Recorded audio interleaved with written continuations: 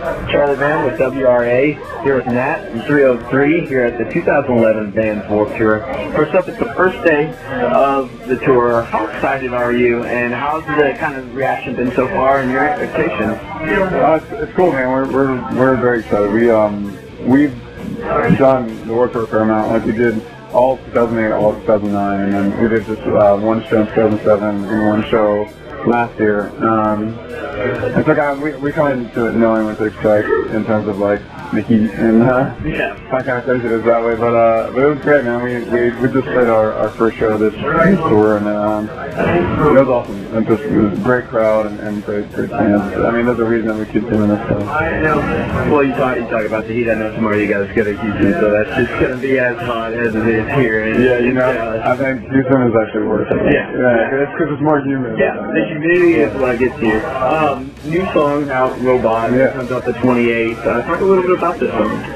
Um, it was a lot of fun to make. I, it's like, it's, I think it's kind of a throwback song for us because it's, a, it's, I don't know, it kind of goes back to some of our more rappy stuff. Like some of our earlier stuff is a little bit more like rappy and hard and pushing. And um, and so it's, it's a throwback song in that sense. I think it's also including like a bunch of other production stuff that I've learned and stuff. It was, it was fun to do. Sean and I just did it in my house in Colorado in my studio and um, kind of from A to Z from, from recording it to mixing it. And uh, I don't know, I think it's really cool because for us it's kind of a song for the fans and that's why we wanted to release it before Warped Tour and um, and play it. And I think, you know, judging by how it was today, it's great.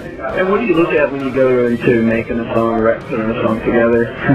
I know a lot of different stuff. I don't know. Yeah, I mean, for us, I mean, the most important thing is that um, it's fun to make and fun to perform. And I think that, you know, I can take different forms. If it's a serious song, it's a song, it could still be fun. But um, it's, uh, I think that's definitely the most important thing. Because, I mean, then, you know, if we're having fun doing it and if we're having fun making it, then I think that, that usually that translates to, to the live element. Other people have fun listening to it. Now I gotta ask you about an experience you guys just were on Loveline. Oh, yeah. About relationship. You know, I, I actually was on the bus on the way to Amarillo Yeah. that night, and so I wasn't on, but he was on, Sean was on, and uh, I was gonna call in, but they wouldn't take my call. they thought I was, uh, they thought I was some creepy fan, so they wouldn't take my call. Well, well, how did you guys get involved? Then? How did Sean get involved? Then? Was it like, hey, we want you guys to call in? I mean, Yeah, no, I think, um, you know, that Loveline was doing kind of a Warped Tour um, featurette, like they did some other bands. I think they did like Asking Alexandria and some other bands